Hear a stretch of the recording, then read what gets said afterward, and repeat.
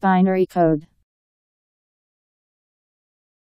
A code that uses the binary digits 0 and 1, usually in groups of 8 to represent characters, machine instructions or other data.